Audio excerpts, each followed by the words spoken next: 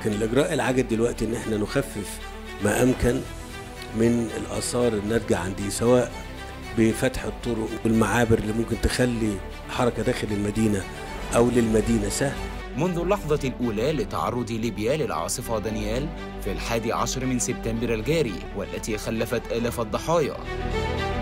تحركت الدولة المصرية بمختلف أجهزتها بتوجيهات مباشرة من الرئيس عبد الفتاح السيسي لدعم الأشقاء الليبيين. فاصطفت الآلاف من المعدات واللوادر وأطقم الإنقاذ وفرق الإغاثة الطبية والإنسانية برا وبحرا وجوا رغم الصعوبات البالغة في الوصول إلى المناطق المنكوبة خاصة في مدينة ديرنا.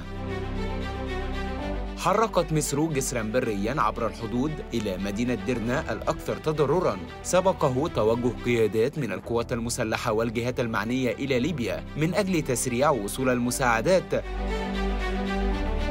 المعدات وأطقم الإنقاذ والطائرات المصرية ما زالت تساعد وتبحث عن آلاف المفقودين جراء إعصار دانيال مع تدفق المساعدات البرية المحملة بالأغذية والأدوية وأدوات الإنقاذ اللازمة. سيرت مصر جسرا جويا دام لأيام يحمل كافة أوجه المساعدات اللازمة وطواقم الإنقاذ المتخصصة والفرق الطبية من أجل سرعة احتواء الكارثة. فكانت مصر أول من وصل إلى ليبيا لإغاثة الأشقاء رغم ظروف الطقس السيئة التي تمثل خطرا كبيرا على أرواح فرق الإنقاذ وكذلك إعاقة وصول المساعدات.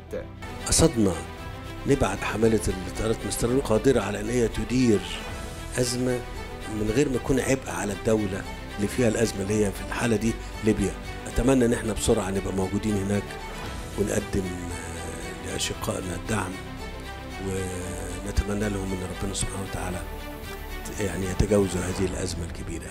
تحركت السفن المصرية إلى الموانئ الليبية وعلى رأسها المسترال جمال عبد الناصر وعلى متنها كافة أوجه المساعدات بجانب تحويلها إلى مستشفى ميداني لتقديم الدعم للمصابين. وكذلك تسهيل عمليات انتشال جثث الضحايا من البحر الذي ابتلع الآلاف من الضحايا. سلاح الجو المصري كان له دورا بارزا في سرعة الاستجابة وإنقاذ المحاصرين وتقديم الدعم لهم عبر نقل المساعدات العاجلة سواء الغذائية أو الطبية اللازمة.